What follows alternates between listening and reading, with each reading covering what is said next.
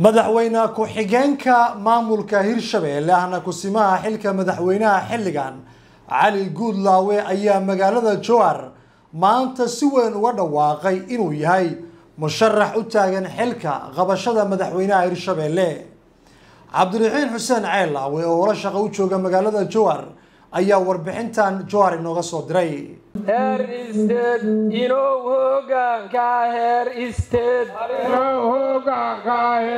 isteed cali guudlaabe helaa hamiga nooga taal munaasabadan uu ku shaacinayay musharaxnimadiisa xilka madaxweyne dowlad goboleedka hirshabeelle mudane cali guudlaawe xuseen oo maanta lagu qabtay magaalada jowhar waxaa ka soo qayb galay odayaasha dhaqanka xildhibaano dhalinyaro siyaasiyiin haween iyo marti sharaf kale xasan qaasin oo ku hadlayay afka odayaasha dhaqanka gudoomiyaha gobolka shabeellaha dhexe axmed mayre makaraan xildhibaan hirshabeelle cabdulaahi cumar ayaa sheegay inay soo dhaweynayaan musharaxnimada cali guudlaawe. Inuu ku hadlaayo magacayga iyo magaca odayaasha reer hirshabelle oo dhan xildhibaanada cusub oo u badan maanta dhallinyaro aqoonyahanne waxaan leenahay inaad codkiisa siisaan cali. Annaga haddii odayaal lahay codkiisa waa siinay musharaxa madaxweyne waxaan leenahay soo dhowaaw xildhibaanada meesha fadhiyana waxaa laga rajayhayaa waxaa la isu sharaxaya ayaga ayaa codka laga sugayaa inay ayagana hadduu ilaah yidhahdaa kaalinkooda qaataan. Mudane musharax madaxweyne ku soo dhowaaw madaxweynaha waa naqaan gobolka shabeellaha dhexe iyo guudaan iyo hirshabeelleba waxaan leenahay soo dhowaaw waa dareemi karnaa dowrka bulshada aad ku dhex leedahay akhyaarta dhaqanka oo meesha ka hadashay iyo maamulkii kula soo shaqeeyaba. Dhammaantood waxaan dareemaynaa farxad iyo soo dhoweynaan ka dareemaynaa. Annaguna waa nimiday umana imaano inaan uga dharno hirshabeelle inaan u hiilinno ayaan u nimid. Waa isleennahay waxaan isleennahay waa yahay ninkii loogu hiili lahay.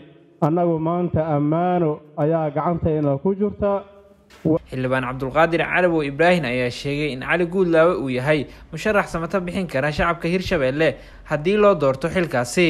Wadaag iyo wadajir ayuu cali guudlaawe caan ku yahay. Xildhibaanada waxaan ka codsanaynaa inay mataqaanaa codkooda maanta ayagay talada la gudboon tahay. Ayaga ayaa codkooda siina annaga.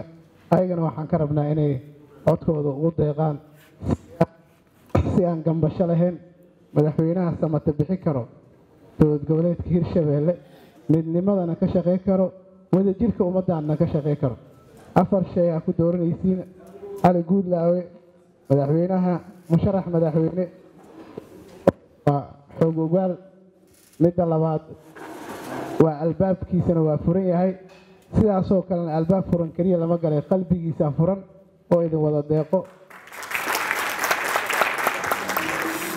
runtii waxaan ka aqaanaa waxaan ku aqaanaa ixtiraam.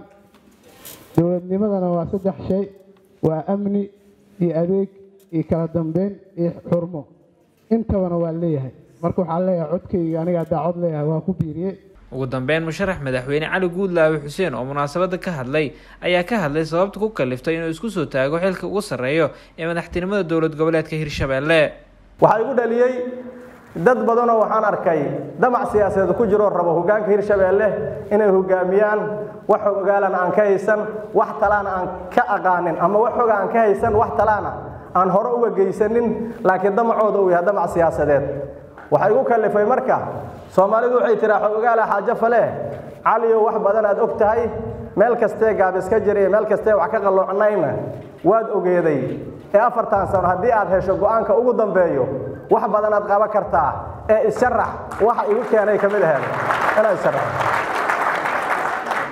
waxaa kaloo ka mid ahay inaan isi soo sharaxo sidaad haddaba arkayseen bulshada qaybeeda kala duwan talooyinka ay soo jeedinaayeen oy guud ahaan u soo jeedinaayeen hirshabeelle gaar ahaana xildhibaanada anigana iyagaa ii soo jeedinaayey war caliyagu isjarax wax badanaad hirshabeelle ka og tahay wax badanaad isku haysay wax badanaad ka nabadoonaysay tiirku isku hayaad aheede waxaan kugula tali lahayn qof cusubo meelay wax ka bilowdo aan aqaanin.